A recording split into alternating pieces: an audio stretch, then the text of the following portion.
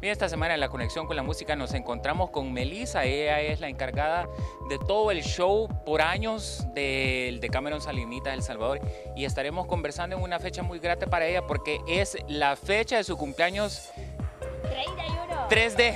Es una chica 3D, ¿verdad? De tres décadas. Entonces, contame un poquito eh, cómo es que preparas cada show. Vemos que tenés todo una bodega, un, una bodega llena de- de disfraces. ¿Quién hace estos disfraces? Eh, ¿Sos tú la que coses estos disfraces? O sea, ¿quién está detrás de toda esta, de toda esta show? Primeramente, la mayoría son míos.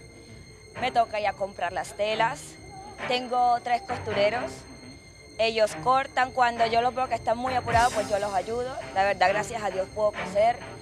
Y tenemos una bodega de vestuario, tenemos una bodega de escenografía. Mis muchachos son los que hacen posible todo esto, porque yo soy la coreógrafa, pero sin ellos, no soy, mi trabajo es nada.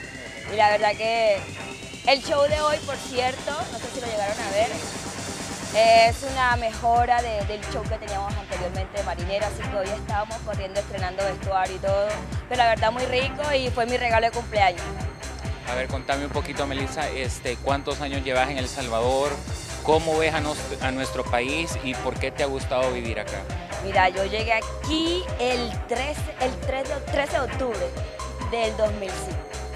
Ya tengo mucho tiempo acá.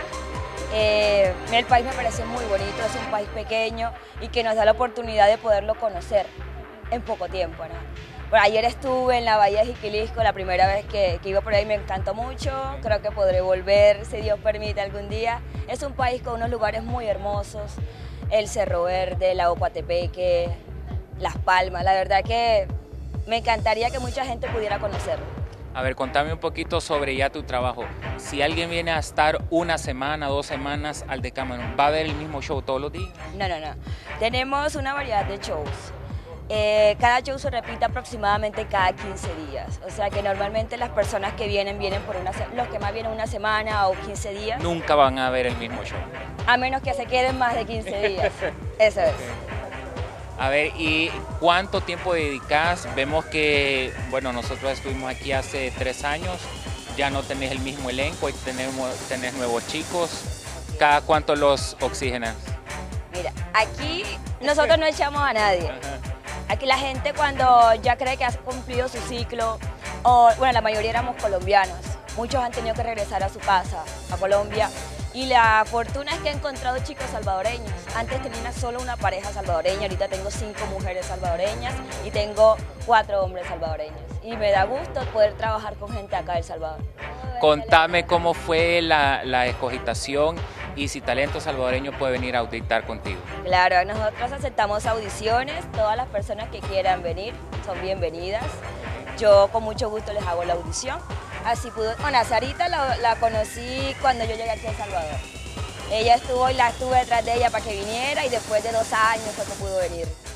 Ella, ella eh, vino de Zacatepoluca, ella es de Soyapango, Lourdes y Sonsonate. De todas eh, varias ciudades de, de aquí de El Salvador he podido encontrar personas.